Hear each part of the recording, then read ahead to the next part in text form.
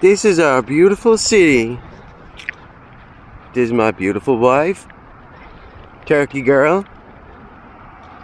And of course, me, mentally unstable and daftly, what should we say, eloquent? Ooh. Anyway, that's all bullshit. It's only for the gobble gobbles. Gobble gobble. Do it. Ah, she's so good at it.